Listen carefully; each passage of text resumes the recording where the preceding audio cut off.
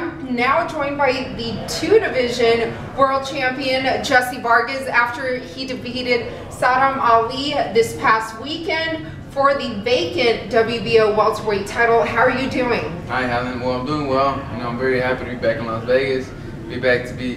I'm happy to be able to, to you know, have fun and, and see all my fans you know, come back to the city.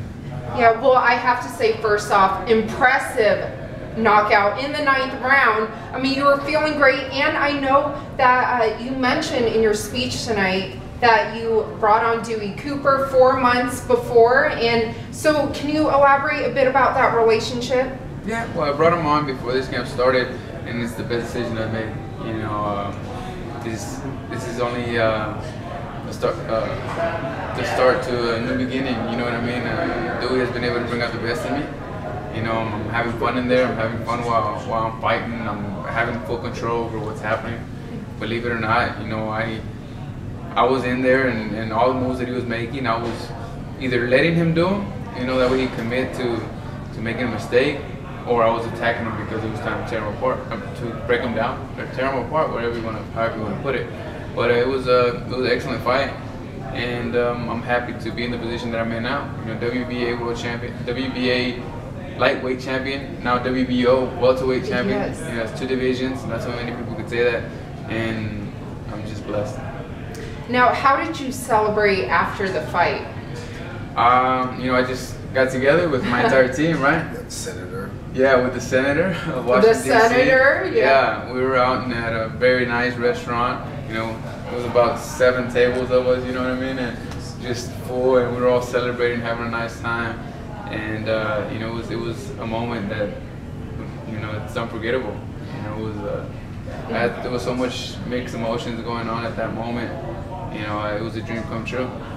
Well, speaking of dream dreams coming true, like I mentioned before, this is your second title. So, which was sweeter, winning your first one or the second one?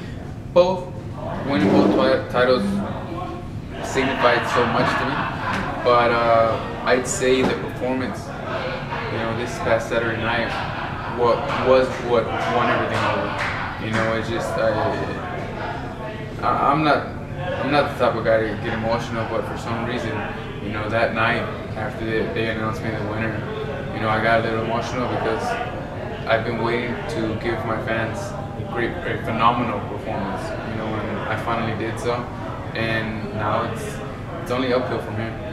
Yeah, well, what's next for you?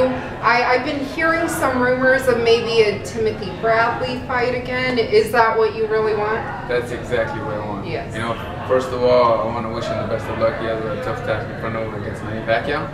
You know, um, if he comes out victorious or doesn't come out victorious, that's the fighter that I want to fight. That's who I want to face. That's who I want to knock out next. Uh, but um, you know, overall, I think that we'll have to sit down with with my team. You know, my manager, my promoter, my my trainer, my everyone on my team, and to see what's the next step. If it's not Bradley, but to me, everyone knows, and no one will make me change my mind. I want to knock out Bradley next. Thank you so much for your time. And before I let you guys go, I also, of course, with your coach Dewey Cooper here. How are you doing? I am great. I'm great. And I'm sure even better now with the belts, right? Yes, yes. It was uh, a long, a long road and uh, a lot of hard work and determination and dedication, and we made it happen. Now, Jessie just stated he hopes to fight Timothy Bradley again, and, and hopefully this time around it will be and result in a knockout. Uh, what would be the game plan going into a potential rematch? Well, uh, whoever we fight, we're going to prepare accordingly. With Timothy Bradley, we know the changes we have to make, and uh, Jessie has already improved on some of the uh, mistakes he made in the first fight. I can assure you, if the fight does happen again, you will definitely see a different result. Great. Well, thank you so much for your time, and once again, congratulations on the big win, and enjoy the rest of the weekend. Thank you. Helen. Thank you for having me.